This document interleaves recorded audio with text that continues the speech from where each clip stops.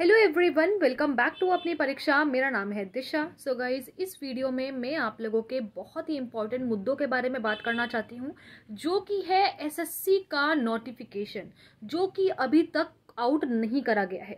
तो इसके पीछे की क्या वजह है? आखिरकार मैं आपको शुरुआत से बताती हूँ।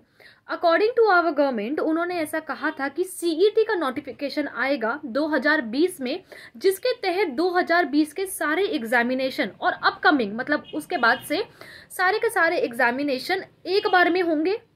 चाहे वो बैंकिंग का हो, चाहे वो एसएससी का हो, चाहे वो रेलवे का हो, इससे ट्रैवलिंग का एक्सपेंस बचेगा, बच्चों का जो है वो कहते हैं टाइम भी बचेगा और भी बहुत सारी चीज़ें मल्टीपल फ़ीस नहीं देनी पड़ेगी। जिस हिसाब से देखा जा रहा है 2020 में आ गया था आपका कोरोना वायरस, जिसकी वजह से इसको पोस्टपोन कर दिया गया था बट किस समय तक, ये नहीं पता। हर जगह आपको आर्टिकल देखने को मिलता है कि 2021 में सीईटी आएगा सीईटी आएगा। इनफैक्ट आपको हम भी बार बार अपडेट करते रहते हैं बहुत सारे टीचर्स की सीईटी e आएगा तो आप तैयारी कीजिए। बट जब तक एक रियल नोटिफिकेशन नहीं आएगा, तब तक काम कैसे बनेगा? आखिरकार क्यों मैथ्स वाले निखिल गुप्ता सर ने इसके लिए बोला कि अगर हम लोग रेडी हैं? जैसे कि ट्विटर कैंपेन करने पे आप लोगों को ग्रुप डी की डेट देखने को मिल गई। इतना बड़ा कैंपेन किया गया था, जिसकी वजह से रेलवे को ये स्टेप लेना पड़ गया। प्लस आपका जो आर आर का एग्ज़ाम हुआ था, उसकी डेट भी अनाउंस कर दी गई है कि रिज़ल्ट कब तक आएगा। सो so, क्यों ना एक एसएससी के लिए कैंपेन करा जाए जिसके अंदर सीपीओ का नोटिफिकेशन स्टेनो का नोटिफिकेशन सीएचएसएल का नोटिफिकेशन मांगा जाए। भाई एसएससी कब आउट करने वाला है? मतलब बच्चों की उम्मीदें टूटती जा रही है लेकिन आप लोगों को कोई भी नोटिफिकेशन नहीं देना है। एसएससी के लिए बहुत इजी है नोटिफिकेशन नहीं निकालना बट उतना ही ज़्यादा बच्चों के लिए टफ है सरवाइव करना, जिसमें उनके पेरेंट्स की होप बंधी हुई है कि हमारा बच्चा जॉब करेगा, हमारे बच्चे के पास एक वैकेंसी होगी, वो बच्चा हमारे लिए, हमारे होता है ना कि जनरेशन आगे बढ़ाएगा। बट उस बच्चे, उस मतलब पेरेंट्स को क्या पता कि सरकार यहाँ पे पता नहीं कौन सा गेम खेल रही है सीईटी e के नाम का, जिसका कोई अता पता नहीं है। अगर बात करी जाए तो एसएससी अपने नियमित तौर से नहीं चल रहा है।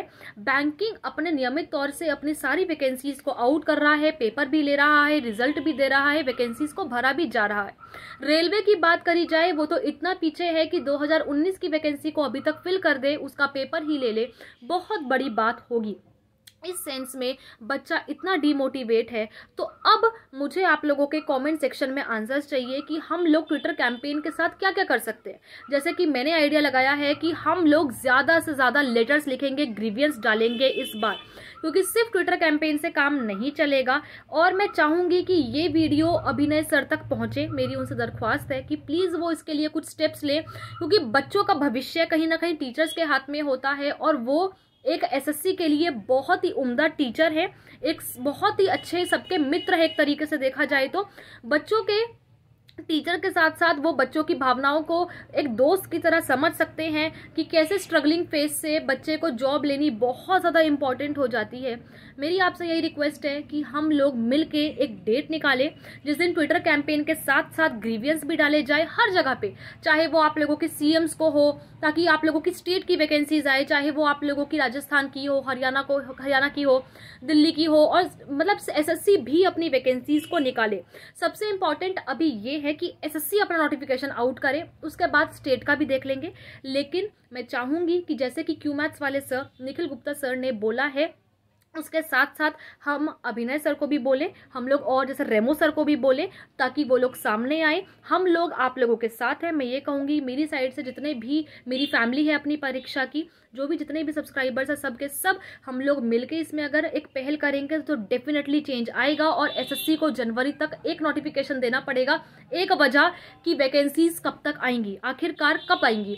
अगर हम बात करें सीपीओ का नोटिफिकेशन जुलाई में आना था, नहीं आया। स्टेनो का नोटिफिकेशन अक्टूबर में आना था नहीं आया। अगर बात करें सी एच एस एल की, उसका भी नोटिफिकेशन आना था, नहीं आया। तो आखिरकार नोटिफिकेशन कब आएगा? आप 2021 की वैकेंसीज निकालिए, जैसे कि बैंकिंग ने निकाली है। बाकी और चीज़ों को देखेंगे। इसीलिए मेरी दरख्वास्त है क्यू मैथ्स वाले सर से और अभिनय सर से कि हमें जल्द से जल्द इसके रिगार्डिंग कोई ना कोई स्टेप लेना चाहिए मिल के एज अ टीचर जितने भी लोग आप लोगों के लिए कंटेंट क्रिएट कर रहे हैं, जितने भी लोग आपको पढ़ा रहे हैं, जितने भी लोग आप लोगों के लिए नोटिफिकेशन प्रोवाइड कर रहे हैं, जो भी कर रहे हैं, सबको साथ आकर एक स्टेप लेना पड़ेगा, एक दिन चुनना पड़ेगा। और भी बहुत सारी चीज़ें हैं, हम साथ में डिस्कस करेंगे। जैसे कि क्यू मैथ्स वाले सर ने डाला हुआ है कि कब आएगा नोटिफिकेशन एसएससी अपनी मर्ज़ी खेल रहा है। अब हम लोगों को भी अपनी मर्ज़ी से कुछ स्टेप्स लेने होंगे। मिलते आने वाली बहुत सारी वीडियोज़ में। अपना ध्यान रखें। Take care